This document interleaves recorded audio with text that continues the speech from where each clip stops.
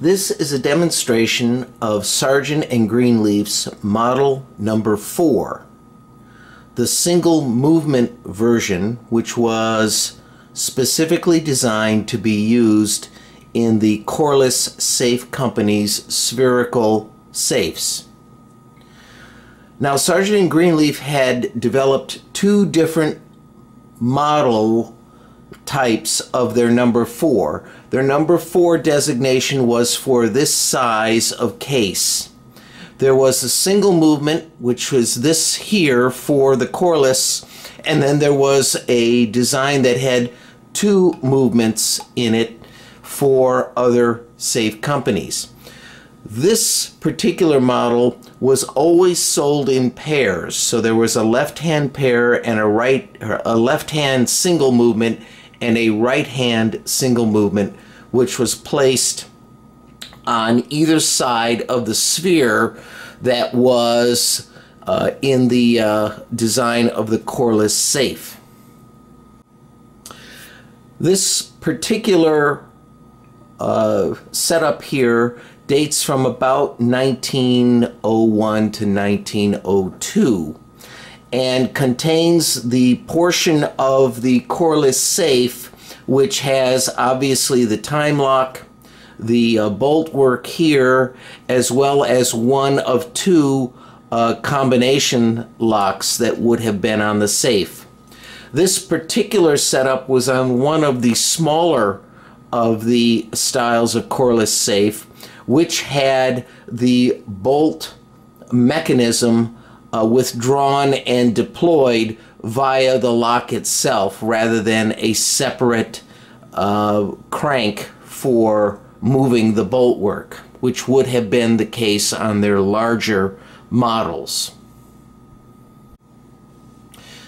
We now have an overall view of the mechanism and over to the right is just a part of the linkage that would have gone to the opposite side of the safe for linking both of these two units together. This one, which is the uh, left hand movement, and the other, which is the right hand movement. Now just to give a quick overview of how this worked, right now the combination lock is in the open position. In other words, all of the tumblers are aligned and the fence here is allowed to be completely uh, uh, de uh, deployed within the four tumbler lock. This allows the bolt work to be moved completely out and thus in. And the bolt work itself would have been deployed via the lock. As you can see as I move the spindle of the combination lock, this makes the uh, bolt work move all the way out and in at the completion of the correct combination. So to demonstrate this, I'm going to move the combination lock to where it would be all the way in the position where it would be ready to be locked. That means the bolt here is fully withdrawn and the time lock can now be set. So I will now wind the time lock a little bit.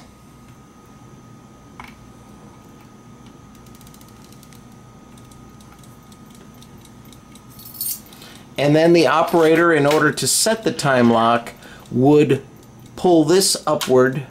And now the bolt is locked into the bolt here is locked into position the drop bolt. And this bolt work here can no longer be pushed inward to open the safe. And to demonstrate that, even though the, the uh, lock up here is still in the open position, you can no longer move this bolt work in. It is now blocked. So what is being demonstrated right now is, say if the operator wanted to open the safe uh, during the time that the time lock was on guard, he would have this in the position where all the tumblers were correct, but he still would not be able to move the spindle to unlock this uh, this uh, uh, uh safe. Now to demonstrate the safe being able to be opened once the time lock is off guard, we will simply uh, move this aside, pretending that the uh, time lock has gone to zero, which would allow this piece here to, this snubber bar here to be moved over to the right, thus allowing the drop bolt to fall via gravity and then the operator would be able to simply move the bolt work inward via the combination lock and open the safe. So once again to demonstrate, right now the lock is on the on guard position. The drop bolt is raised and locked by the snubber bar. The bolt work is retracted and the combination lock is if you move it just a little bit like this now the fence is pushed upward and we're pretending like all of the um, tumblers are jumbled and this would be the position that the fence would be in raised uh, to prevent the lock from being able to be opened. So now we have dialed in the correct combination and now the fence drops and we see that, oh, we cannot move it because this time lock is on guard. Now pretending that the time lock has gone to zero, the bolt will drop and we can now have the correct combination dialed in and move the bolt work to open the safe. Now I will show some of the other part of this mechanism and as you can see it's in the original state. There's quite a bit of of marring and some rust and so forth. I have not uh, um, restored this unit yet. And on the back side here, you can actually see part of the curvature of that uh, safe, the spherical safe door. And you can see from the curve that it was a fairly small safe, maybe, oh, about uh, two, maybe two feet in diameter or so, which is why it had a manual uh, uh, wide head of bolt release that was controlled by the uh, lock itself. Now over here is the linkage that uh, would connect this bolt work to the bolt work on the opposite side of the sphere so that it would operate as a, a, a pair in unison.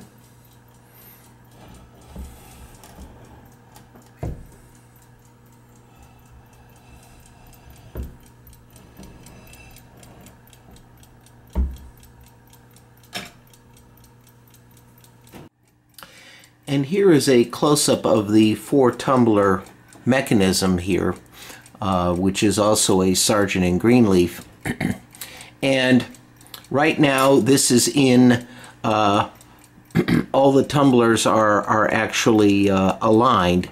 So what I'm going to do is push this over so that it, it goes into the locked position and I'm going to just slightly move it just enough to raise the fence and move one of the tumblers ever so slightly, just enough, just this.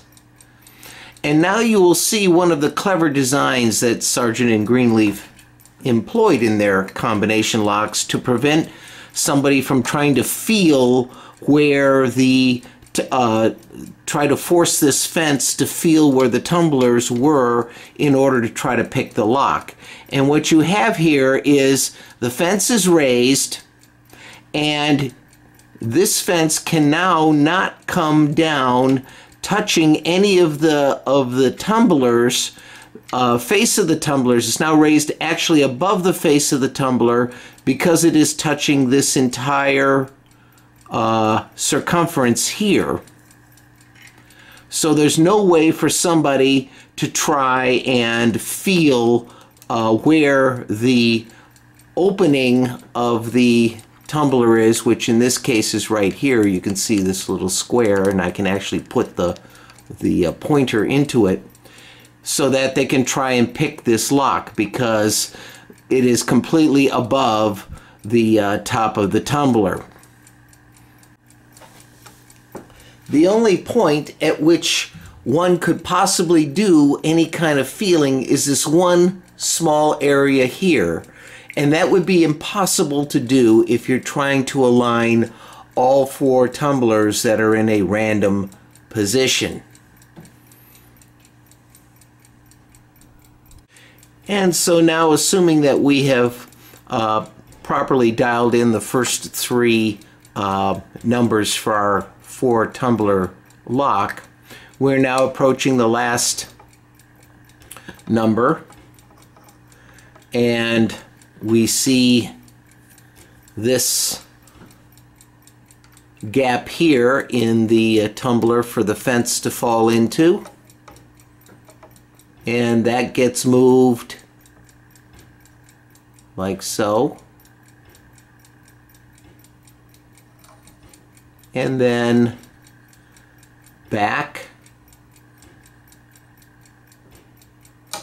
for the fence to fall into all four of the gates, which is what these uh, gaps here are called in the tumblers. This is the fence. And these are the gates. And the fence drops into the gates. And now you move the dial and your safe can be opened. That is, of course, assuming that the time lock is off guard.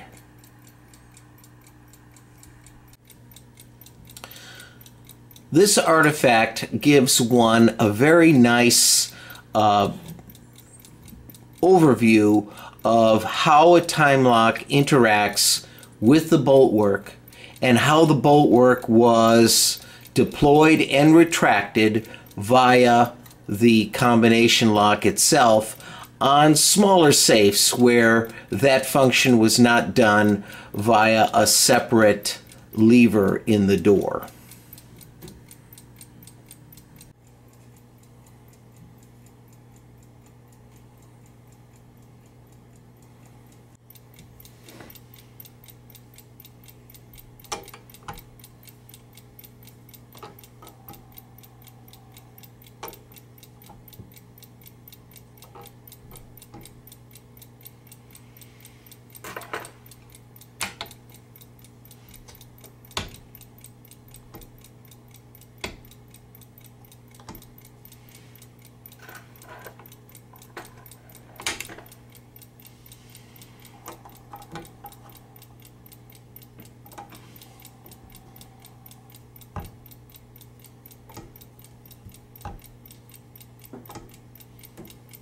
So now you see the demonstration where both the time lock must be off guard and the correct combination dialed in for one to be able to open the safe.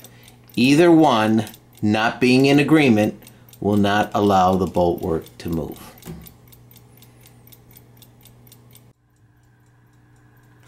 And of course, this linkage here was critical because it supplied the uh, verification between the two locks that they were either open and uh, or closed. In other words, everything that was needed on this side which was the uh, left hand side for the safe to open to have both this combination lock uh, properly uh, dialed in as well as the time lock was also needed on the second set of mechanisms which were identical to this which was the right hand side of the safe and this link is what supplied the information between the two modules to make sure that they were both in agreement to allow the safe to be opened.